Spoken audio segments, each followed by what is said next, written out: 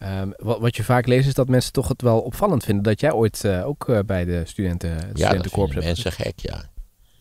Ja, god, waarom ben ik een lid van het Utrecht Studentenkoor geweest? Omdat eh, in mijn familie was het usance dat je lid van het koor werd. Dus als je dat niet deed, dan, ja, dan eh, stond je toch in de familiekring te kijken als een knor, zoals dat heette. Ja. Je gaat toch niet bij die knorrenbond? En bovendien kreeg ik er nog wel wat financiële extra's. Als ik bereid was, omdat het koor, eh, je moest een rockkostuum kopen en allemaal andere flauwekul en poppenkast. Als ik dat twee keer aan heb gehad, is het veel. En toen ik het jaren later weer aan probeerde te trekken, toen ik ging promoveren, toen bleek ik ongeveer twee keer zo dik geworden te zijn in de tussenliggende tijd. Dus ik had er eigenlijk heel weinig aan gehad. Maar goed, dat was de hoofdreden. Dat, dat is een kwestie van familiecultuur. Eh, Was ik er vreselijk gelukkig mee? Nou, met sommige dingen wel en andere dingen niet. Het is ook, zoals zoveel dingen, een complexe zaak. Eh, Met name het sociëteitsleven en de zogenaamde kroegcommissie. Ja, dat waren instituties die naar mijn idee niet deugden. Maar ik heb in een almanakredactie gezeten. Dat was ontzettend leuk werk. Daar werd je niet voor de voeten gelopen. Je kon allerlei kritische stukken schrijven. Eh, Sterker nog, mijn stuk was misschien... ben ik ook niet trots op wat ik daarin geschreven heb. Eh, ik heb in, het, in de redactie van het Koorblaadje gezeten. Ook leuk werk. Nogmaals, je mocht heel kritisch zijn. Werd je overigens ook uitgescholden. Dat is wel lollig.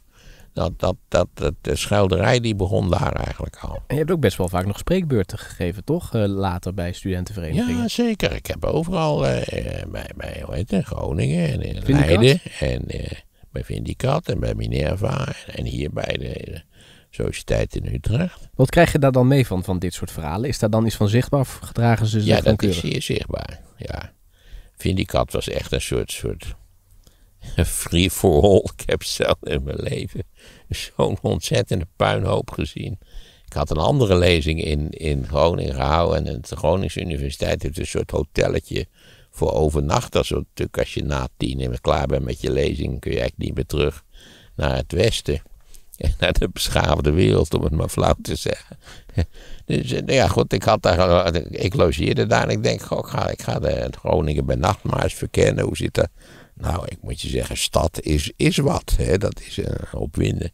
God allemachtig, wat een kabaal en een, en een opwinding in die, in die Groningse binnenstad. Dus ik was ook bij Vindicat naar binnen gelopen. Ja, wat gewoon, ja, je kon daar gewoon naar binnen lopen. En, eh, Aan dat Bartplein, dat, dat nieuwe pand.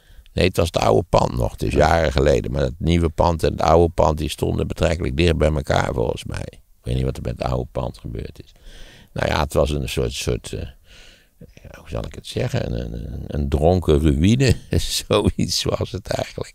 Ik dacht, god allemachtig, wat een puinzooi. Wat ben ik blij dat ik deze rotzooi morgen niet op hoef te ruimen.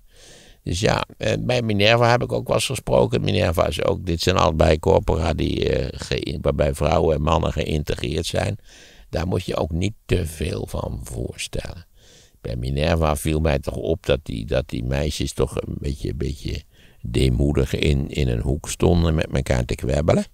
Eh, om het even eh, een, beetje, een beetje flauw te stellen. En dat de heren toch ook qua lawaaiproductie en, en andere activiteiten duidelijk domineerden. Het was kennelijk ergens in het najaar. Wat een wonderlijke gewoonte die ze hier ook in Utrecht hadden. Namelijk dat, dat ze kranten in de fik stonden zetten. En dat, ze, dat die dan door eerstejaars of komende eerstejaars moesten worden uitgetrapt. En dan werd er geroepen, vuur in de zaal. En tot mijn verbazing bleek deze wonderlijke gewoonte ook in Leiden te bestaan. En nou ja, daar werd ook wat van alles nog wat in de fik gestoken, vuur in de zaal. En arme eerstejaars of bijna eerstejaars, die moeten dat, moesten dat uit gaan trappen. Kon ik ook niet laten te zeggen dat dit soort van treurigheden kennelijk zo algemeen zijn. Dat ze overal, dat ze overal. Ik vond de groentijd eigenlijk niet kunnen. Dat vind ik tot op de dag van vandaag. De ongelukken gebeuren ook meestal in de groentijd. De ongelukken gebeuren meestal in de, in de koorhuizen waar ook ontgroend wordt. Maak daar aan een eind. Want daar is geen behoorlijk toezicht. Ook hier is handhaving. Want ze zeggen altijd, ze beloven altijd beterschap. En er komt altijd een commissie die ernaar gaat kijken. En nou ja, allemaal een lulkoek die Dat was in Amsterdam ook. hè? ja, die ook niks voorstelt allemaal. Dus zorg dat je, dat, je, dat je er goed zicht op houdt. Schaf het grootste deel van de groentijd af en zorg voor externe controle. Extern. Dus geen, geen vriendjespolitiek. Niet de schrijvers die iedereen kent in die corpora. Dat is, dat is ook een wonderlijke zaak van de corpora. Het, het zijn bepaald niet de besten die daar domineren. En wie zou zo'n externe club dan kunnen zijn? Geen idee. Noem eens iets. Ik weet niet. Kunnen we niet ergens iets vinden die. die beetje, beetje nette mensen? De boeren hebben zo meteen misschien tijd. Misschien kunnen ze een keer zo'n trekker binnenrijden. ja. Dat zou wel een opmerkelijke gebeurtenis zijn. En uh, Amsterdam hadden ze ook een nieuwe gedragscode inderdaad. En die... Ja, daar boei je allemaal niks van voor. Okay. Joh, dat is voor de bühne. Neem dat vindicaat, dat belooft er al jaren beterschap. Dat komt nooit iets van. En dat ligt, dat heb ik ook proberen uit te leggen, dat ligt natuurlijk aan het soort van personen wat erbij betrokken is. Namelijk adolescente mannen. Heel treurig groepje. Ja, die zijn natuurlijk nog bezig om, om ja, iets, iets. Nou ja, ik heb ook het voorbeeld gegeven. Bekijk ooit eens zo'n documentaire over zo'n Bavianenhorde. Dan krijg je een heel aardig idee hoe dat ongeveer in elkaar zit bij, bij die mensen waar wij, of die mensen, die dieren waar wij ook uh, familie van zijn. Uh, adolescente mannen, veel drank, groepsvorming. Tel dat bij elkaar op en dan weet je dus dat dat gegarandeerd misgaat. Ja. Vertelde, jij was met Arend Jan Boekenstein. Vertelde hij nou dat hij ontgroend was door Jan-Peter Balkenende? Ja, bij het vuurkorps. Zoals hij terecht meldde. En ik natuurlijk als koorlid moet zeggen, een beetje een mislukt korps. En Balkenende die ging tot twee uur dan. Dan was hij, s ochtends zat hij weer in de boeken. Hè? Ja, uh, Balkenende, dat is natuurlijk evident een vrij gedisciplineerde en intelligente man. Ja, ik heb het volgens mij verteld. Ik heb hem laatst horen spreken. Op zo'n congres waar je, waar je per se Engels moet spreken, terwijl het helemaal niet nodig was. Maar goed, ik vond, dat, ik vond hem de beste en de geestigste spreker. Hartstikke had dat goede anekdotes, er was niks mis mee. Ik zou hem ook uitnodigen als ik zo'n congresje had. Ik kan best leuke dingen vertellen. Ja. En is het nog steeds nu zo dat je, als je bij Minerva zit, dat je dan inderdaad de nieuwe bestuurder van het land bent? Dat wordt natuurlijk nog wel eens gezegd. Ja, je had het bekende gerucht dat, eh, dat als je dat iemand die minister van Buitenlandse Zaken werd, die, die moest eh, bij Minerva hebben gezeten en iets belangrijks hebben gedaan. En nou weet ik niet of er niet ondertussen toch een gat gevallen is. Maar ja, eh, Hoekstra is, is notabene voorzitter van, ja. de, van de Senaat in, in Leiden geweest. Dus dat klopt weer meer perfect. Ja.